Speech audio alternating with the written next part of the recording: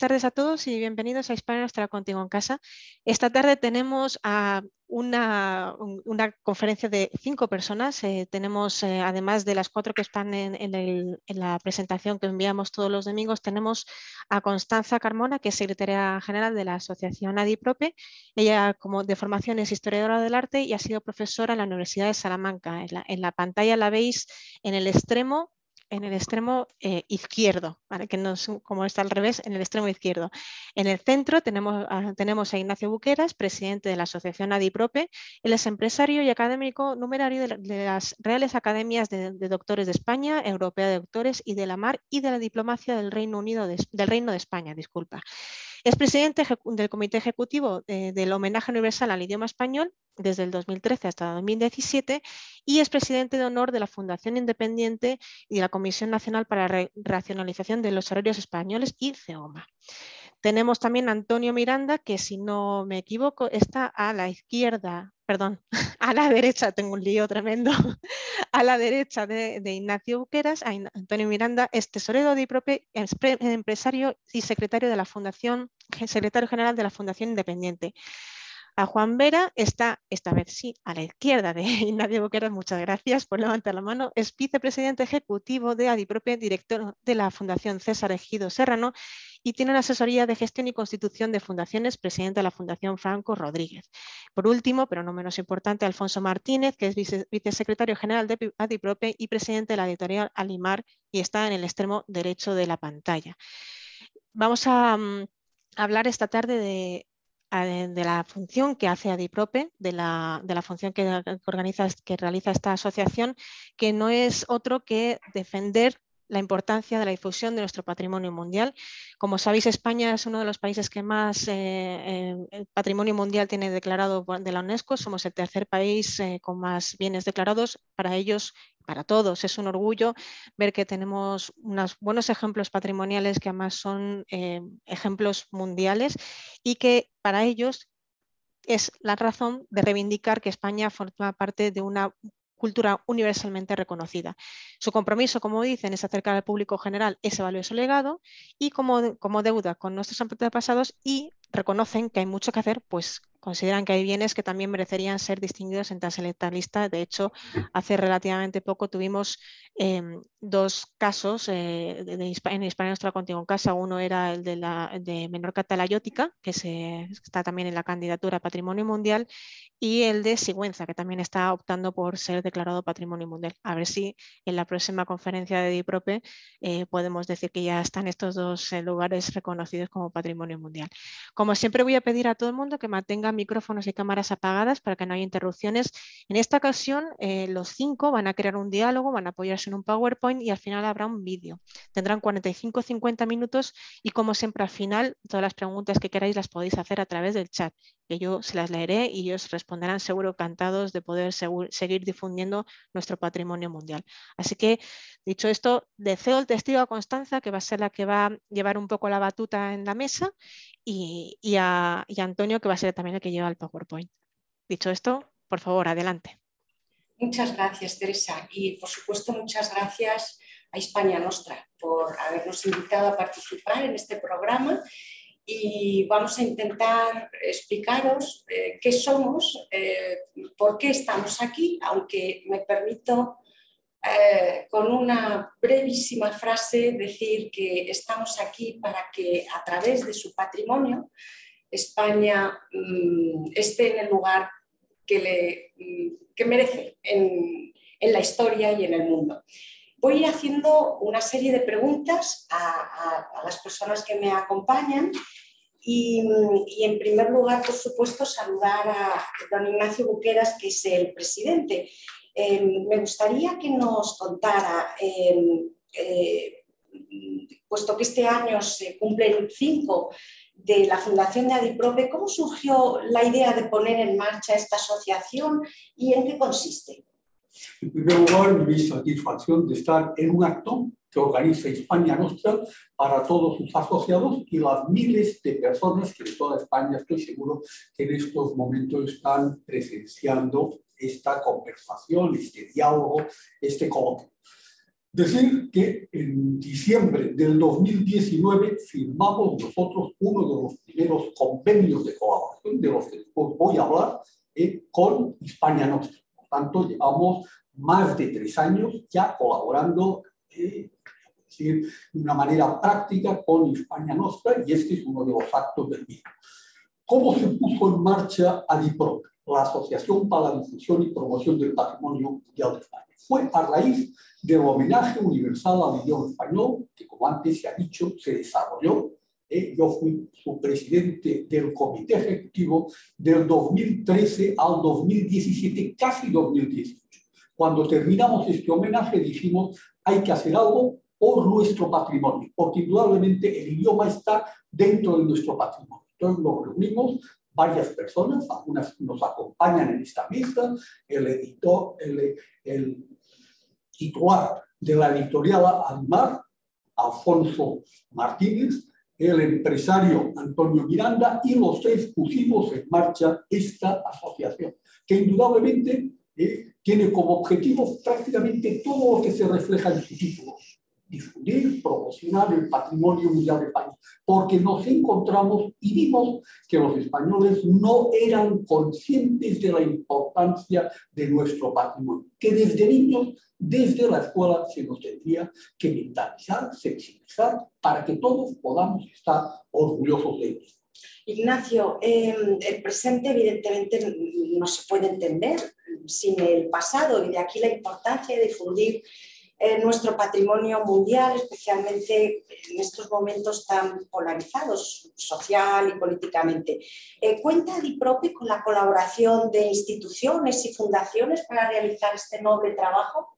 Pues de la misma manera que he indicado que en diciembre del 2019 firmamos un convenio de colaboración con España Nostra, que hoy es nuestra, podríamos decir, nuestra anfitriona, hemos firmado también con AFAMER, que es la Asociación del Mundo Rural, de las Mujeres del Mundo Rural, FEDEPE, que es la Organización de Mujeres Ejecutivas Empresarias, Mujeres para el Diálogo, que en estos momentos están haciendo una magnífica campaña a favor del patrimonio desde el punto de vista las mujeres que han participado en nuestro patrimonio mundial, la Academia de la Ingeniería, la Universidad Politécnica de Madrid, que después se nos explicará que hemos logrado un curso por primera vez en España con una universidad, la Universidad San Pablo la Fundación Independiente, el Club Puerta de Hierro, eh, Innovarte, Hispania Nostra, que era mencionado antes, y la última que hemos firmado es con el sector de las personas mayores,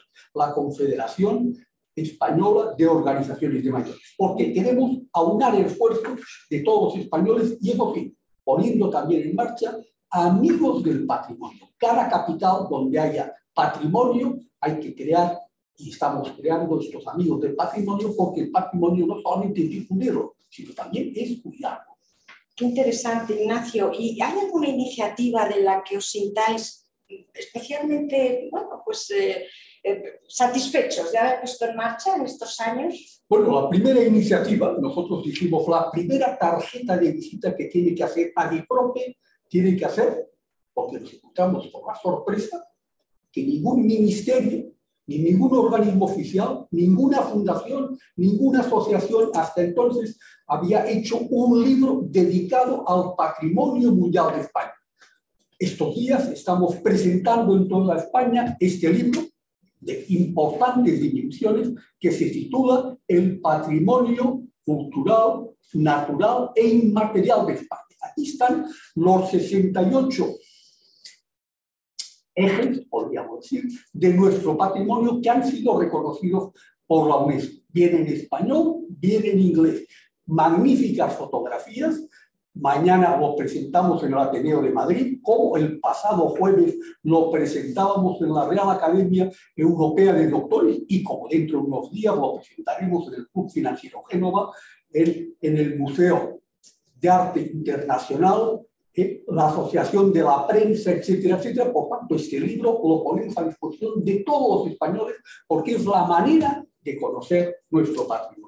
Tengo entendido que también habéis puesto en marcha el nombramiento de embajadores honorarios del Patrimonio Mundial de España. Exactamente. Brevemente, ¿nos podéis hablar? Muy telegráficamente, muy telegráficamente hemos buscado personas a nivel internacional que también vivan y quieran hacer vivir a otros nuestro patrimonio. Así, el primer acto lo celebramos un 10 de junio eh, en el Real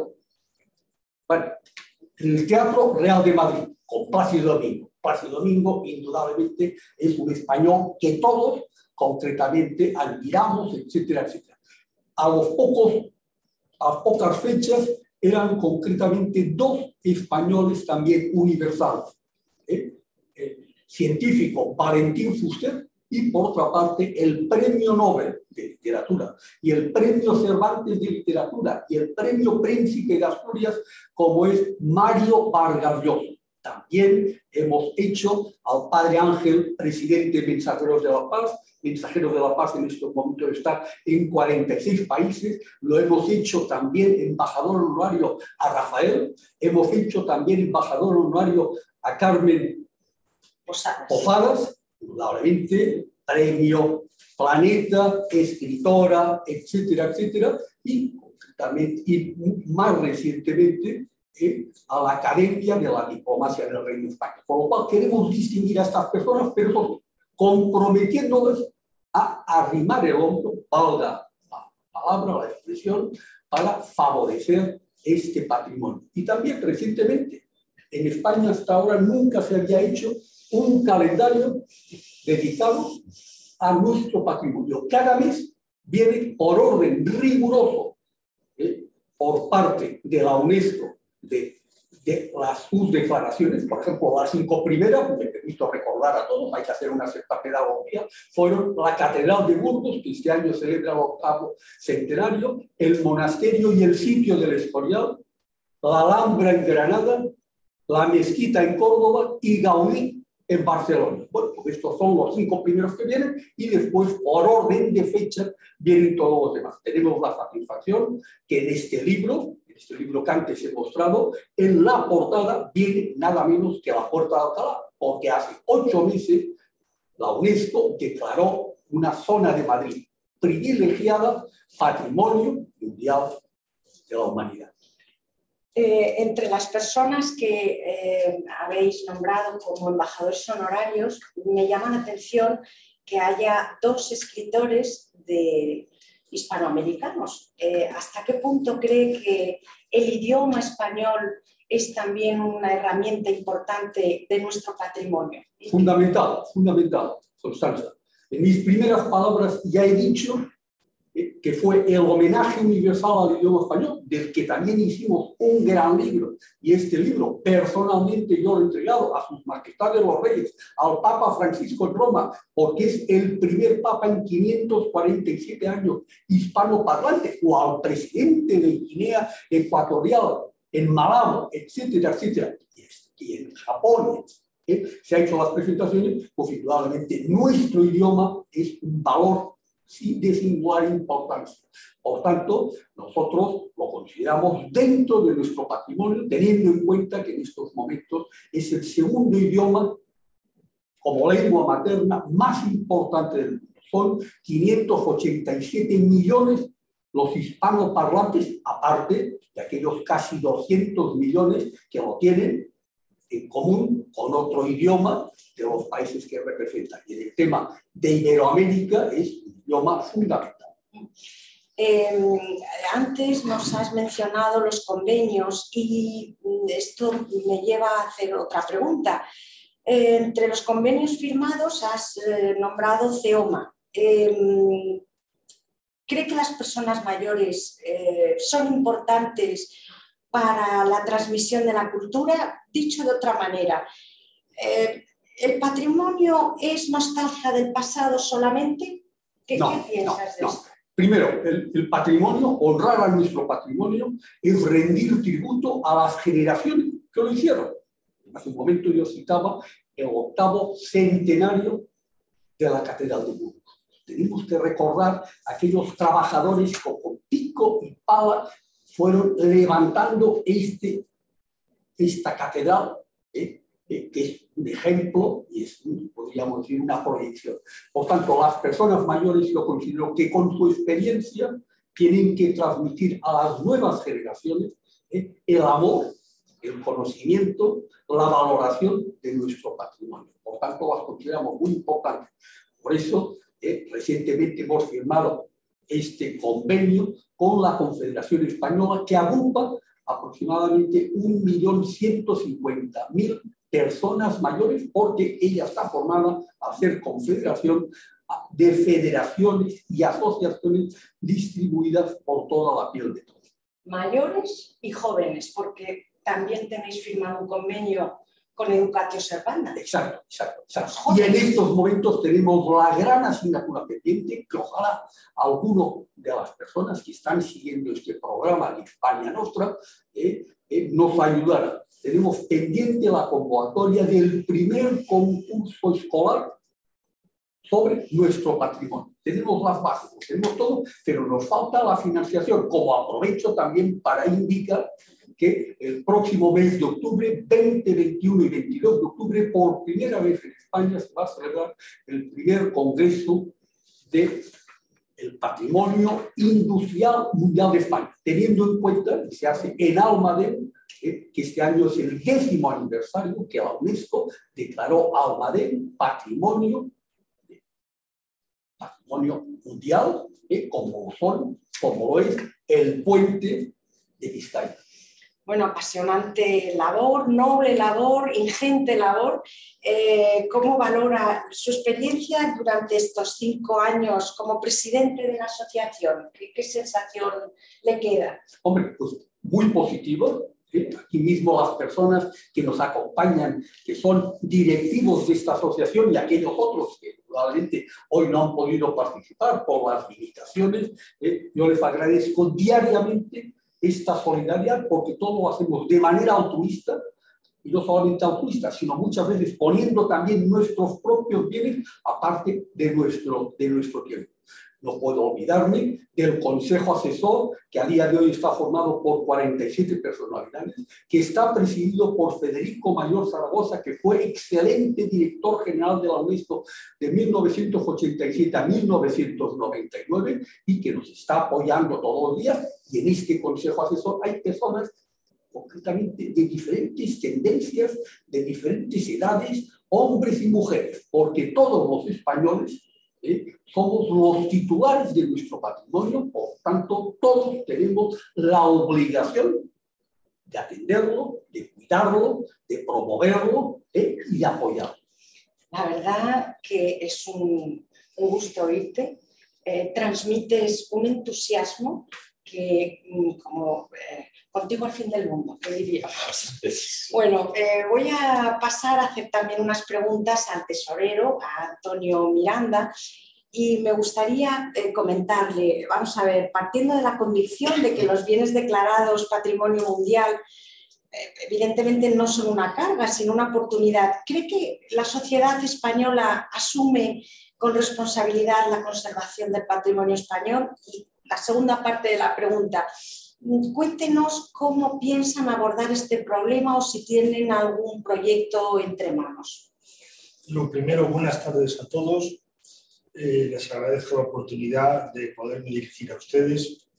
Y con respecto a estas preguntas que me hace Constanza, y dentro del objetivo fundamental de Adiprope, que es difundir y dar a conocer nuestro patrimonio, nosotros pensamos que era importante realizar un curso, un curso que va dirigido a personal técnico pero técnico de eh, primer nivel, es decir, eh, arquitectos técnicos, profesionales que trabajan en la administración y tienen relación con el mantenimiento de edificios y lugares de interés cultural o histórico. Y en ese sentido, pues nos pusimos en contacto con lo que la universidad que consideramos más apropiada para realizar un curso, como es la Universidad Politécnica de Madrid en este curso eh, que hicimos con ellos, pues trabajaban especialmente en la Escuela Técnica Superior de Arquitectura y en la Escuela de Ingenieros de Caminos y, en fin, un sinfín de personas que han logrado pues, que tengamos el primer curso dedicado a la formación y adecuación de personal que hasta ahora pues era el que más sabía dentro de la administración, el que tradicionalmente lo llevaba, para que tengan un curso que es de eh, promoción, desarrollo eh, y, gestión del patrimonio. ¿Qué es lo que se enseña en este curso? Pues básicamente cómo rehabilitar, cómo mantener y sobre todo cómo gestionar en el tiempo para que el patrimonio sea sostenible. No nos olvidemos que los bienes históricos, eh, culturales, bienes artísticos, pues son caros de mantener, es una preciosidad y un alarde que la, la, humanidad actualmente tiene para poder disfrutar de lo que han hecho nuestros antepasados y eso es reconocido por todo el mundo. Pensemos una ciudad como París, que está mm, con un número de visitas importantísimo todos los años en función de la belleza de sus edificios históricos, incluso de la propia ciudad. Bueno, pues en España tenemos muchísimo de lo que enorgullecernos y hemos querido pues, enseñar a las personas, repito, con este curso eh, que está avalado y soportado además por la Universidad Politécnica de Madrid junto con la DIPROPE, pues darles un inicio de otros cursos que iremos haciendo de niveles más altos y más potentes.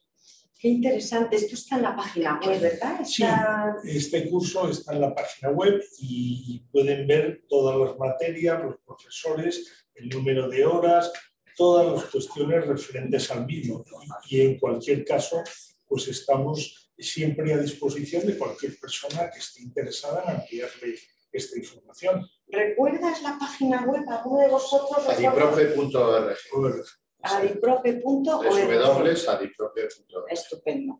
Eh, Antonio, esto que nos has explicado es muy interesante, pero mm, claro, el público general, ¿cómo hacer de manera práctica, cómo promocionar al público general nuestro patrimonio?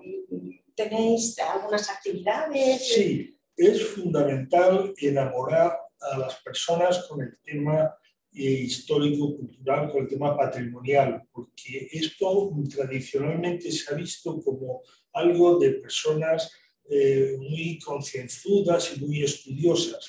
Y la verdad es que es una maravilla el poder conocer, y lo vemos con infinidad de programas que hay en la televisión actualmente, de conociendo diferentes ciudades del mundo, como lo primero que nos enseña es el patrimonio de esas ciudades, quién construyó esas cosas, esos castillos, esos palacios, cómo eh, se mantienen, qué días hay de visita. Bueno, pues yo creo que esto es lo importante, que la gente eh, vea la posibilidad de disfrutar de eh, su ocio, emplearlo en enriquecer su conocimiento de todas estas cuestiones. Nosotros a nuestro nivel, pues realizamos conferencias, hemos, tengo que citar algunas importantes, como la que dio Luis Lafuente, director general de Patrimonio Cultural del Ayuntamiento de Madrid, Manuel Muñoz, presidente de la Real Academia de Bellas Artes de, San Carlos, eh, José Manuel Muzana sobre Gaudí, siendo Bueno Benito, director general de Patrimonio Cultural de la Junta de Castilla y León. También hemos publicado diferentes artículos sobre diferentes bienes. Todos estos artículos pues, eh, los pueden encontrar también en nuestra página web, eh, aliprope.org. Sí, eh, evidentemente me parece interesante que digas que habéis hecho también vídeos, porque a ver, hoy la gente lee poco, las prisas, la falta de tiempo, bueno, se dice con razón que una imagen vale más que mil palabras todo lo que entra por los ojos se asimila con, más facilidad y, entusiasma más. También tenéis algunos vídeos, me parece. Sí, por supuesto, tenemos el camino, el porqué de nuestro patrimonio, el Camino de Santiago, iglesias eh, románicas, el Pirineo catalán, el Escorial. Tenemos que hacer muchos más vídeos eh, eh, en este sentido y hablando de imágenes, pues también tenemos un concurso de fotografía, un concurso escolar de fotografía en el cual se va a premiar eh, los trabajos mejor realizados mm, sobre los bienes eh, culturales, histórico-patrimoniales que hay en España. Es importante que esta divulgación de, de nuestra historia cultural, histórica y patrimonial se haga, como decíamos antes, decía Constanza Carmona, a través de la imagen.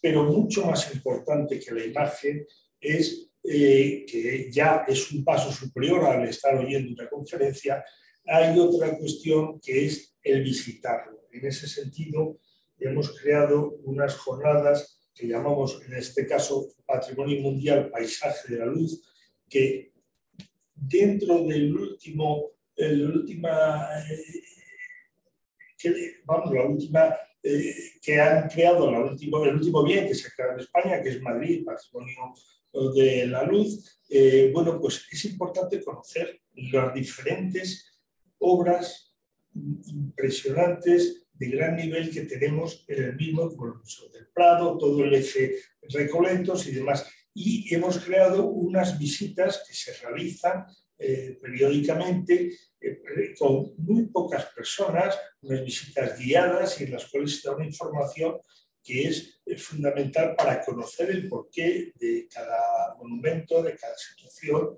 y demás. En este sentido, nosotros estamos intentando permanentemente realizar cosas nuevas. También tenemos previsto realizar unos acuerdos. Hay una gran empresa española eh, muy conocida que está interesada en eh, con nosotros trabajar para la creación de electrolineras, que serían... Eso es muy actual, esto es algo que lo, moderno eh, compatible con lo antiguo, esto me parece exacto, una idea fantástica. Exacto, lo más bonito en el mundo yo creo que es el estar orgullosos de lo que uno hace hoy y por supuesto orgullosos de lo que hicieron nuestros antepasados, conservarlo, mantenerlo, ponerlo en valor y así hacerlo sostenible para que nuestros hijos, nietos, etcétera, etcétera, las futuras generaciones lo puedan ir conociendo. No, además el patrimonio es una herramienta para hablar de la historia de España. Claro. Eh, hablar del Escorial hay que hablar de Felipe II, hay que hablar de aquel imperio en el que no se ponía el sol, claro, se presta a hablar de muchas más cosas. Efectivamente, Que hoy los planes de estudio no ayudan demasiado. Muchas gracias, Antonio. Eh, ahora me voy a dirigir a Juan, que tengo aquí a mi izquierda, Juan Vera, que es vicepresidente, y me gustaría que nos dijera mm, cuáles son las principales dificultades que os habéis encontrado. Muy buenas tardes a todos. De nuevo, mi gratitud a España Nostra por prestarnos este altavoz para difundir nuestros objetivos, nuestras metas, nuestros fines. Pues Constanza, las dificultades que por desgracia eh, son en las que concurren las organizaciones que se dedican o que tienen como, motivación diaria el impulsar la cultura y los bienes y el patrimonio de este país. Dificultades financieras porque son escasas eh, porque no tienen la, excesiva atención que los que estamos involucrados en ellas eh, que quisiéramos que tuvieran. Y bueno, pues hay que empezar a, moverse y a movilizarse y a intentar tener estos ingresos recurrentes que como asociación no lucrativa lo que tienen que hacer es permitirnos continuar con las actividades que queremos desarrollar. Y, es lógicamente algo que, que, nos inquieta y que dada la situación además general del país en este momento, pues es difícil. Hemos puesto en marcha un programa que se llama Amigos del Patrimonio, a que ya han hecho alusión aquí Ignacio y mis compañeros. Eh, es muy importante, las asociaciones y las organizaciones no lucrativas sobreviven básicamente en un altísimo porcentaje gracias a lo que se llama la masa social, a lo que es la contribución de los socios, de los mecenas, de los amigos, que realmente coinciden contigo en los objetivos y en lo que deseamos todos, que es el sostenimiento y el mantenimiento del patrimonio. Y recientemente eh, hemos puesto en marcha también el, traspaso del concepto legal de asociación al de fundación. Eh, pensamos que si las gestiones que estamos realizando se realizan correctamente, probablemente antes del verano, antes del mes de, julio o como mucho en septiembre, la, la, fundación haya nacido y esté ya creada. Es una fundación que va a permitir poder eh, emitir los certificados de desgrabación fiscal a aquellos donantes que que quieran colaborar con la fundación y que además va a tener otro régimen legal y otro régimen de, gestión. Eh, en la fundación van a participar personas que ya sabemos que se han apuntado a ser patronos de esta fundación y que obviamente, como todavía no está constituida, me voy a permitir el no, desvelarlo. Pero sí puedo decir que son personalidades muy importantes eh, y, que, que, van a reforzar nuestro posicionamiento y nuestras ganas de sacar adelante la idea de, de patrimonio y la difusión. La verdad que es increíble que en España no exista una ley de mecenazgo. Una ley de mecenazgo. Sí, sí, que pues facilitaría muchísimo. Y que no ¿verdad? Pues efectivamente, así es. Y además yo no hace, ahora pocas semanas hablaba de esto con el con el presidente de una comunidad autónoma, también voy a evitar mencionar su nombre, pero que él me decía que había intentado poner en marcha esta ley de mecenazgo en su comunidad autónoma, pero que se había visto con una cierta oposición precisamente de aquellos partidos que supuestamente son más proclives a, los temas populares y, la cultura. Y sin embargo, él decía, no, no, entiendo, yo quiero poner en marcha una ley de patrocinio y mecenazgo en la actualidad las fundaciones que dependen del protectorado de fundaciones están inscritas dentro de la ley 49-2002, que es la del patrocinio y mecenazgo, pero que es una ley fiscal, es una ley de Hacienda, no es una ley que, diga y que ponga en marcha recursos económicos para, para las organizaciones que queremos mantener y difundir el patrimonio. Y, veo que habéis puesto en marcha una, aplicación. móvil, ¿verdad? Para hacerlo de manera fácil y accesible para el público general. Es un proyecto que se ha podido gestionar gracias a una subvención concedida por el Ministerio de Cultura, por el, Departamento de Industrias Culturales, y gracias a la cual hemos podido poner en marcha una aplicación que ya está en los teléfonos móviles, que se llama DIPROPE, como la asociación, y que es un proyecto vivo, es un proyecto que ahora ha nacido hace apenas unas pocas semanas, unos pocos días, y eh, se va a ir mejorando y se va a ir ampliando. La idea es que cualquier persona, cualquier turista o cualquier persona eh, nacional que desee ir a visitar pueda tener el recorrido mm, desde su lugar hasta donde está ese lugar patrimonio, que cuando llegue vea eh, la guía, los horarios, la información útil, incluso, ¿por qué no decirlo de los, de los sitios que hay cercanos, los restaurantes, los, los lugares que puede visitar no solamente en ese patrimonio y que, y que además le sirva también como guía útil dentro del lugar patrimonio para ir viendo su historia. Vamos a ir mejorándola, acaba de nacer, como digo, es un proyecto vivo y, y afortunadamente ya está en en los móviles, ya se puede descargar la aplicación, es una aplicación gratuita, por supuesto, y, va a ir teniendo otras muchas eh, funcionalidades, como por ejemplo el concurso de fotografía, la gente podrá hacer fotos con la aplicación y enviarlas dentro de la propia aplicación. Para Porque el concurso de fotografía no va a ser solo para escolares, sino público general. Claro, yo, bueno, yo creo que sí. yo creo que debe ser así y, que además... Eh, pues bueno, yo creo que uno de los acicates más importantes, dada la gran afición a la fotografía que hay en este país, es al visitar uno de esos monumentos que cada uno envíe su punto de vista, su imagen sobre ese monumento. Y, eso, es, eso, es, un poco lo que va a complementar.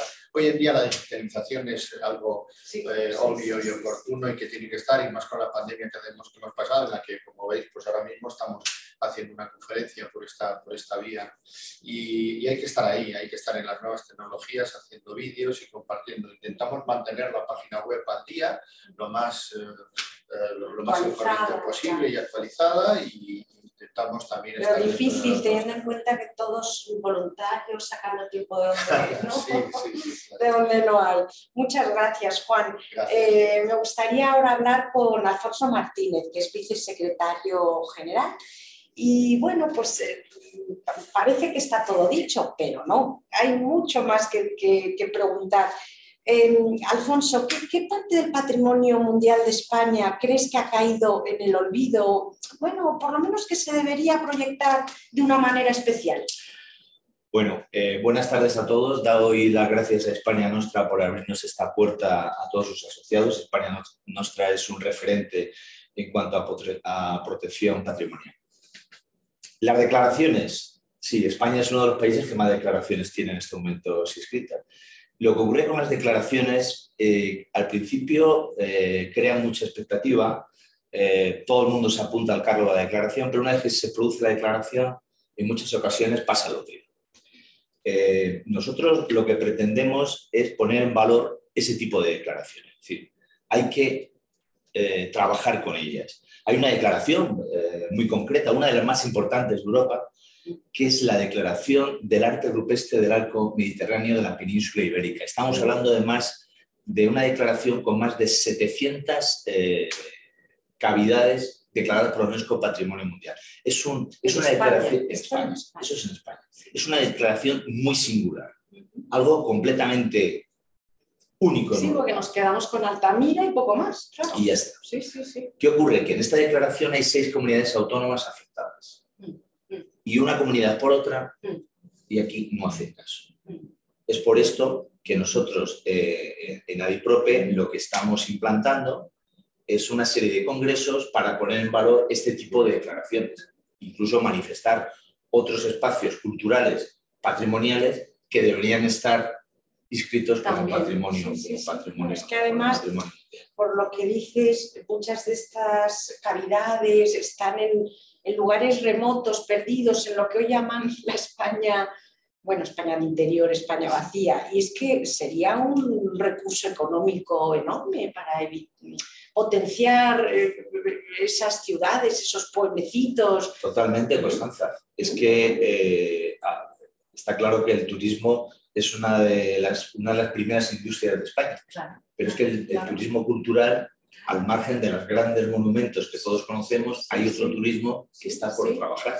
Entre ellos este. Entre ellos este tipo de declaraciones. A mí se me está ocurriendo ahora el Mudéjar aragonés. Por ejemplo. Porque yo estuve hace años intentando ver muchas de las iglesias declaradas Patrimonio de la Humanidad cerrada, cerrada, cerrada, cerrada, en pueblecitos perdidos. Digo, por Dios, si es patrimonio de la humanidad, poner en marcha. Y aparte, el arte mudéjar es el, único arte propio español. Nuestro hispánico. Y que hemos exportado a Hispanoamérica y al norte de África. Pues claro, y está ahí. Olvidado, perdido. Me acuerdo de una iglesia en Tauste cerrada. Después de que, bueno, desde Madrid son unos cuantos kilómetros y da mucha rabia verse cerrado.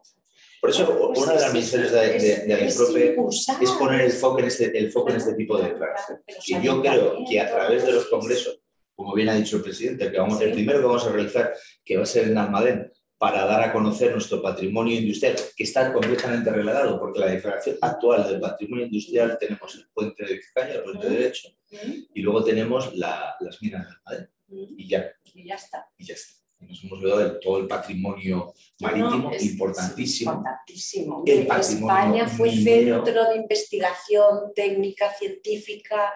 Eh, vamos, yo quedé sorprendida, hace un par de años organizó la Real Academia de Bellas Artes de San Fernando una exposición muy interesante que era eh, la tecnología al servicio del poder. De la época de los Austrias, y España tenía una actividad eh, de, investigación científica para mantener ese imperio, hacía falta dedicar a la matemática, geografía, astronomía, tecnología en general. Además, tienes saber, Constanza, como profesora, que lo que no se conoce, no se puede no, no se quiere ni se protege. Hay que, hay que conocer. Y esa es una de las labores que tenemos en el sí, a pesar de los recursos que tenemos. que son Para conocer, proteger y promover. Bueno, además, eh, como herramienta, desde luego el libro del que antes hablaba Ignacio, importantísimo, que además tú eres el, el editor, también el concurso nacional escolar, ¿no? porque no solamente los niños, sino implicar decíais, es que, eh, a las eh, familias. Por parte de IPROPE hay, una, hay una herramienta fundamental, que es formar a las nuevas generaciones. Es decir, tenemos que implicarlos. ¿Cómo nos vamos a implicar? ¿Cómo queremos? A través de la escuela. Por eso queremos llevar a cabo nuestro concurso nacional Patrimonio Mundial. En estos momentos tenemos el apoyo del Ministerio de Cultura, también tenemos el apoyo de, de, fundaciones importantes, que no daré el nombre porque hasta que no lo tengamos todo cerrado. Y, lo que hemos planteado, teniendo en cuenta nuestros recursos y que todos trabajamos por el amor al patrimonio, pues queremos empezar por la Comunidad de Madrid, que es donde estamos asentados y lo que debemos más. programa piloto, ¿no? Claro, y entonces lo queremos hacer con, con Educatio Servanda y también que ya os comentaré, con una, una serie de colegios que tienen en torno a 1.500 alumnos en, la Comunidad de Madrid y que vamos a poder desarrollar. Bueno, como veo que el tiempo va pasando, nos quedan pocos minutos, pero me gustaría terminar con una pregunta particular a cada uno. Eh, ¿Qué bienes os gustaría que se incluyeran en esta tan selecta lista? A ver, vamos a empezar por el presidente, Ignacio. Bueno, mi lista es, podríamos decir, para terminar estos minutos que nos quedan e incluso pedir eh, una prórroga de unos minutos más. Pero simplemente me voy a centrar en un tema, la zarzuela. Uno de nuestros patronos de lo que será la fundación, de lo que será la fundación, ¿eh? es Plácido Domingo. Plácido Domingo, al que fue el primero que le hicimos embajador honorario del Patrimonio Mundial de España. Plácido Domingo desde los cuatro años lleva en sí la vivencia de las artes. Sus padres también cantaban, ¿no? Sus padres, exactamente, y él, cuando se incorporó a nosotros, eh, y en las conversaciones que hemos tenido desde Washington, desde Berlín, desde, porque este hombre eh, está viajando por todo el mundo para llevar su voz, pero al mismo tiempo indirectamente a través a través de su página, ¿eh? que son cientos de miles de personas que ven la página suya y está impulsando nuestro patrimonio. Una de las cosas primeras que me dijo Ignacio, a mí me gustaría que nosotros, ¿eh? con la ayuda que os pueda facilitar, el tema de las ayudas. Otra persona que he incorporado recientemente, que es estudioso del tema de la zarzuela y que lleva trabajando tres o cuatro años y ha hecho diferentes estudios, eh, que mañana, por cierto, almuerzo con él, es Emilio Casares. Eh, Emilio Casares es un experto del mundo de la zarzuela. Tenemos que tener en cuenta, para terminar, eh, que la zarzuela, podemos decir, es el guion musical de España con proyección en Iberoamérica. Nace del pueblo, desde el pueblo, y, y lo sirve y expresa. Por, parte, por otra parte, es la más importante aportación de la cultura española al teatro musical universal, al teatro musical universal. Y es un género híbrido, porque es cantar, hablar, bailar y representar. Cualquiera de nosotros que ha estado viviendo una zarzuela, vemos que se cambia, pero se habla, ¿eh? también se expresa, etcétera, etcétera. Por tanto, tiene una gran riqueza y podríamos decir, y para terminar en este tema que podría continuar hablando de la zarzuela, su nombre viene del Palacio de la Zarzuela que existía en Madrid. Y en la zona donde estaba el Palacio de la Zarzuela se ve que había una serie de zarzas y, de las zarzas estas salió el nombre de la zarzuela. Y la primera que dice esto, una de las primeras obras, fue Calderón en 1657, que fue El Golfo de las Sirenas y el Laurel de Apolo. Como es lógico, autores de la zarzuela, todo el mundo tendría en la cabeza diferentes. Yo citaría Barbieri, Bretón de los Herreros, Ascona, Ventura de la Vega, Arrieta, Pedro Chueca, Amadeo Vives, etc. Por tanto, creo que la zarzuela, nosotros nos vamos a implicar en este tema y estoy convencido que vamos a lograr que la UNESCO lo declare Patrimonio de la Humanidad. Bueno, pues lo merece realmente lo merece. ¿Se os ocurre, queréis decir, algún otro patrimonio que creéis que debería estar en la lista? Bueno, yo, yo como soñar es gratuito. Yo creo que la historia de España en la época de los Austrias debería estar como patrimonio de la humanidad, porque recorriendo el mundo en Manila se ven todavía edificios de la época que España estaba allí. En República Dominicana, en la capital Santo Domingo, la zona colonial es un objeto de visita turística. De México, la Ciudad de México es, se ve una riqueza empleada en el propio país, con una cantidad de edificios que, que bueno, pues que es una ciudad que cuando uno la conoce, dice, bueno, pues esto es como París, pero sin cuidar. Es decir, con una riqueza impresionante. Entonces yo creo que lo que ha hecho España y lo, que hizo también en nuestro país. Lo que ha hecho España en esta época yo creo que es digno de tenerlo en una consideración muy especial que no pasó con ninguna de las otras grandes potencias, como ha sido Francia o Inglaterra o Portugal en las colonias de España, donde ha estado, ha dejado una muestra eh, en, en la parte de California, en la parte de Florida. Se ven todavía cosas maravillosas y, bueno, yo creo que esto merecería la pena que la humanidad... Como, algo global, como algo global, como algo global, porque muchas de esas ciudades son patrimonio de la humanidad y están los caminos reales, pero sí como algo global. Como algo global, porque yo no creo que haya un lugar de, más historia, más internacional y ni más siquiera riqueza, Roma, ni siquiera en el Imperio Romano. Catedrales, universidades, Sí, hospitales, es que Fue sí, España sí, la fue. España, porque no eran colonias, eran provincias. Sí, Las provincias de ultramar, con los mismos derechos, Exacto. las mismas En cambio, otros países solamente veían el área Sí, comercial. Sí, totalmente. El negocio, Sí, sí, nada más. Aquí era llevar España dio- cultura, civilización. sí, sí. Pues qué interesante todo. No sé si Alfonso quiere, Hombre, quiere decir algo. Yo, yo en cuanto, y como especialista en uno es ya del patrimonio mundial, que llevo del final de los 80, yo creo que la, la lista está incompleta y necesitamos protección al patrimonio industrial. Patrimonio Es industrial. que, Hay estamos- que es que por eso el motivo de nuestro congreso va a ¿Qué ser, va a ser? ¿Nos lo dices cuándo? Dices? Va a ser los días- En octubre, va a ¿no? ser en octubre, creo recordar el 20, 21 y Sí, 22 sí, en la sí. ciudad de, de Amadeo. De Almadén. Ajá. Y yo creo que ahí vamos a poner el foco en alguna declaración, ¿verdad? Sí, para darle un empuje, Sí, para sí. impulsar. Por Sí. ejemplo, todo el patrimonio naval del Ferrol, Sí, que no sí, es poca cosa. Sí, sí, sí. Y que yo sé que está, vamos, sabemos que está preparando Sí, su declaración, así que les vamos a apoyar. A a empujar. Juan, Pues fíjate, Constanza, yo más que aportar un lugar o un sitio eh, específico donde que pueda estar en nuestra lista, en nuestra ya rica lista de patrimonio, quiero insistir mucho en algo que ya se ha comentado en, en la mesa hace unos minutos, que es la educación. Creo que es importantísimo, importantísimo la educación en valores, que desde la edad escolar eh, y como formación reglada posteriormente de posgrado, se hable del sostenimiento, del conocimiento, de la difusión del patrimonio.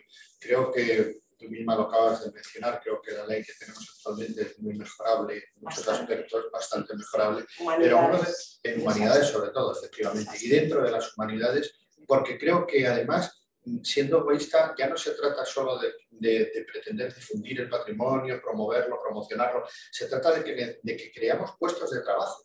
Creamos puestos de trabajo, necesitamos jóvenes que estén entusiasmados por el sostenimiento, la restauración, la arqueología, que, que quieran estar dentro de esas profesiones que, que necesitan puestos de trabajo, pero no se producen porque eh, la escolarización previa no se ha, no se ha, no se ha promovido. Yo rompería una lanza porque la ley de educación existiera y dentro de las humanidades, por supuesto, Historia, eh, eh, historia todo este tema del patrimonio, la historia, cómo conservarlo, cómo hacerlo sostenible, cómo promoverlo, porque creo firmemente que además es, una, es un pozo de trabajo para... Sin lugar a dudas, la educación es la gran asignatura. Estos últimos 40 años, si en algo se ha perdido es la educación.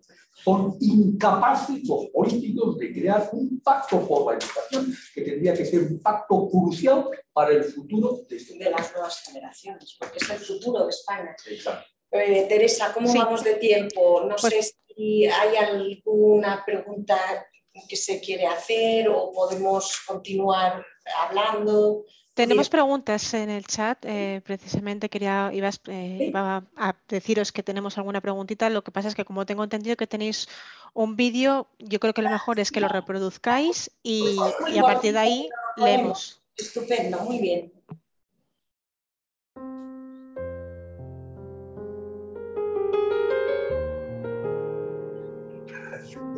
lá.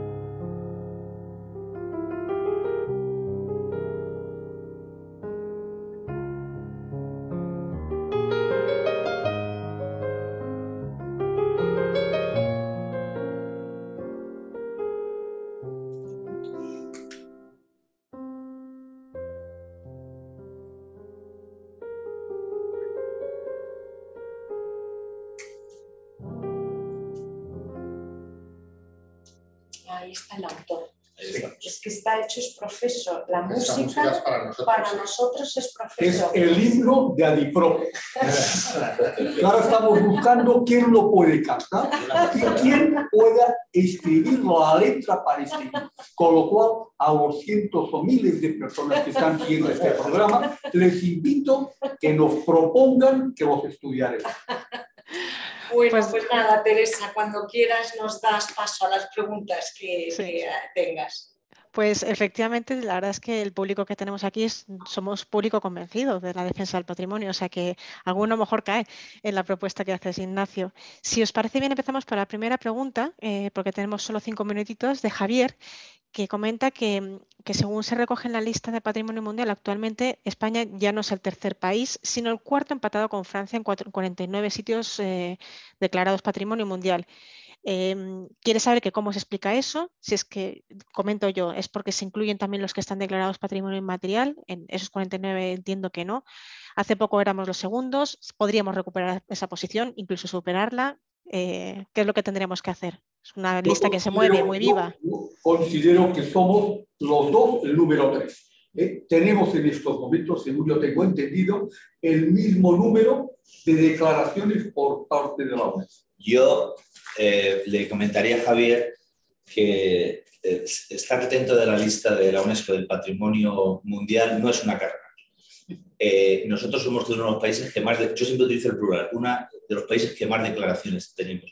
No solamente de nuestro patrimonio mundial, sino somos el país que más declaraciones tiene consideradas por UNESCO como reserva de la reserva. Somos el único país que tenemos un archipiélago completo con siete, más ahora ocho islas, todas declaradas reserva de la biosfera. Entonces, yo creo que el patrimonio no es un tema de carrera, sino es un tema de calidad. Es decir, nosotros tenemos una diversidad tremenda en cuanto a la declaración patrimonio. Y me olvidaría de si somos los primeros, segundos, terceros. Yo creo que ahí estamos. En estos momentos son 68 declaraciones, patrimonio natural, inmaterial, bienes mixtos. Hay que estar orgullosos. Lo importante es que somos unos fuertes líderes que entre todos, sin lugar a dudas, pondremos a España en el lugar que se merece. Hombre, y, y, enlazando con lo que antes decía Antonio, muchas de las ciudades que fueron provincias de ultramar, Claro. el patrimonio que hay allí es español. Ha sido Ah, Lo creo ha sido España. español, lo creo ha español.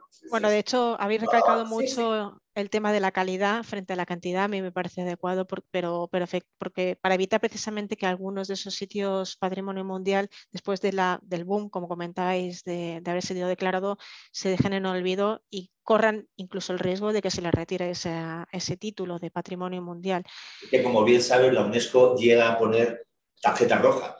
Acordaros el hecho de que se que aconteció en la ciudad de Ávila, cuando hubo una construcción cerca de la muralla y hay alguno más. Y con Burgos, las famosas bueno. puertas de Antonio López, que también Claro, es entonces, polémica. sí, sí. Eh, es mejor tener lo que se tiene de calidad, que nosotros lo tenemos, defenderlos y promoverlos. Seguro. Sí, además yo creo que podemos estar realmente orgullosos en España porque efectivamente somos uno de los países que más declaraciones patrimonio mundial lanza, que además las, recibim- las reciben con buen grado y nos acaban declarado patrimonio mundial. También eh, somos el país que más candidaturas eh, manda a los premios Europa Nostra, eh, que son los premios más eh, con, ma- con mayor prestigio en cuanto a, a intervención en patrimonio y además somos el país con más premios. Desde el año 78, si no lo recuerdo mal, tenemos 212, es decir, que tenemos material de sobra con el que podemos sentir muy orgullosos. Y Álvaro insistía precisamente en el chat en eh, lo la importancia de la calidad frente a la cantidad y él pone de ejemplo la, la- la relación que tiene que haber entre el, bien que está declarado y los organismos que lo, que lo manejan. ¿no? Pone como ejemplo Sintra, que atrae, según comenta en el chat, 3,5 millones de visitantes al año y en cambio lo contrapone al monasterio del Escorial, que recibe se- eh, 0,6, o casi medio, un poquito más de medio, medio millón. ¿no? Y dice que la diferencia está en la gestión. Eh, vosotros eh, me imagino que también estaréis a favor de una gestión más sencilla y, y, sobre todo orientada a la defensa del bien en sí, ¿no? Tenemos previstos viajes culturales para visitar, concretamente este mismo año tenemos uno de los previstos, es el Camino de Santiago, teniendo en cuenta que se ha prolongado un año más el año Santo Jacobeo. ¿eh? Tenemos, pues, pues, distintos trayectos culturales, por ejemplo, para considerar, como antes se decía, la parte de Madrid, declarado por parte de la UNESCO. Pero es que la pandemia nos ha impedido hacer todo esto, las limitaciones territoriales, esto nos ha cogido dos años. De todas formas, y con relación a lo que estaba diciendo Teresa, eh, decir que en el curso que se hace, que hemos hecho con la Universidad Politécnica, una de las partes importantes es la gestión, como decía antes, sostenible en el tiempo. Es decir, una buena gestión. No se trata de ya está rehabilitado, ya está nuevo, cerremos las puertas, sino hagámoslo, démoslo a conocer y hagámoslo sostenible, porque al final que sea rentable y se pueda ir manteniendo y no presupuestos extraordinarios para arreglar, sino que aquello se pueda de forma sostenible en el tiempo mantener a sí mismo. Como que ya estamos en el límite de los tiempos, yo simplemente quiero agradecer a España Nostra su colaboración en este acto ¿eh? y por otra parte este debe ser el inicio de una serie de actividades, aunando esfuerzos, España Nostra, con Adiprope y por otra parte también incorporar todas aquellas otras entidades por las que hemos firmado convenio. Hay que sumar, hoy más que nunca. Estamos en un país difícil, complejo, con muchos intereses, con demasiados personalismos, pero alrededor del tema del patrimonio tenemos que dejar todo esto al margen para de esta manera tomar una dirección de aunar esfuerzos ¿eh? y lograr convencer a la ciudadanía de que el futuro está al servicio de España y los españoles a través también de nuestro gran patrimonio. Pues fíjate, Ignacio, en el chat estamos teniendo ya un ánimo incluso ibérico, porque están reivindicando la, posible colaboración con Portugal para, reivindicar esa unidad eh, pues, de la península. ¿no? Yo creo que también podría ser una, oportunidad unirnos a Portugal y después efectivamente extenderlo a, las que fueron eh, esas eh, eh, provincias de ultramar que comentaba antes Constanza, que formaron históricamente parte de España. Nosotros en su momento ya incorporamos y hemos firmado también un convenio con la Academia de la Diplomacia del Reino de España, que también ha recibido la titulación de embajador eh, del patrimonio mundial de España, para sumar todos los países, especialmente de habla española, que son 22, y de esta manera potenciar todo esto que nos une en el pasado y que nos tiene que unir más que nunca en el presente. Bueno, pues a los mensajes que quedan en el chat sin leer, porque se nos acaba el tiempo, si tienen algún, si tienen interés pueden escribirme a mí a teresa.hispanostra.org y yo se las haré llegar a las personas que tenemos aquí, estas cinco magníficos oradores que hemos tenido de DIPROPE, para que puedan resolver las dudas que pudieran surgir en el futuro. Eh, agradeceros a los cinco por vuestro tiempo y vuestro esfuerzo, porque me consta de que lo hacéis de manera altruista, como habéis dicho, y, muchísimas gracias por vuestro tiempo y a los asistentes por asistir una tarde más a España estará contigo en casa, no sin antes recordaros que la semana que viene tenemos otra sesión y en esta ocasión viajaremos hasta Valencia. Así que bueno. Eh, Muchas gracias, Teresa. Gracias, gracias, a Hasta luego. Gracias a todos.